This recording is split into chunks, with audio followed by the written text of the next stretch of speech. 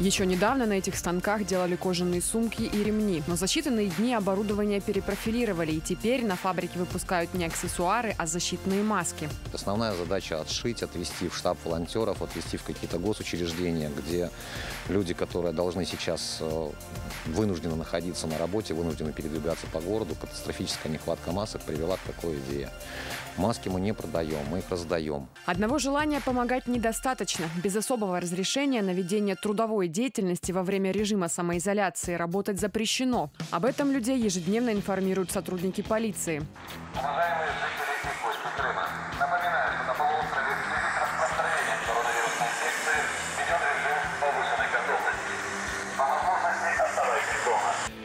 Сначала предупреждают, но за повторное нарушение административные штрафы. Это касается всех – людей, должностных и юридических лиц, организаций.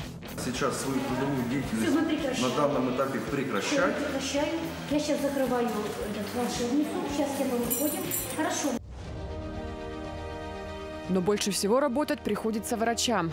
В Центре медицины катастроф и скорой помощи телефоны не умолкают. Здесь принимают звонки со всего Крыма. Скорая 19 слушает. Здравствуйте. Я слушаю вас. Что с вами случилось? Температура.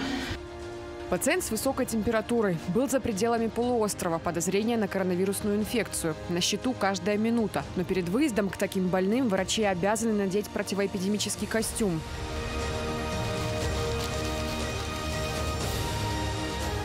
Все делают быстро, помогая друг другу. Процесс не самый простой. Комбинезон и халат повышенной прочности, респиратор, очки, две пары перчаток. Находиться в таком костюме действительно некомфортно. Становится жарко, очки начинают потеть, но защита превыше всего. По правилам безопасности медицинский работник должен снимать костюм самостоятельно. Для этого все завязки фиксируются на одной стороне. Жизнь пациента – вот что важно. О собственном комфорте врачи не думают. Медики призывают жителей полуострова сидеть дома, ведь они каждый день рискуют своим здоровьем ради нас. Быть дома. Не бродить, не ходить.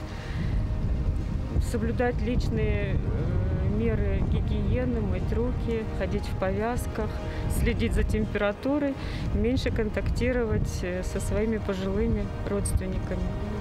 Эти меры соблюдать нужно всем, в том числе и сотрудникам экстренных служб. 24 на 7 они готовы оказать помощь. А еще продавцам, фармацевтам и представителям СМИ.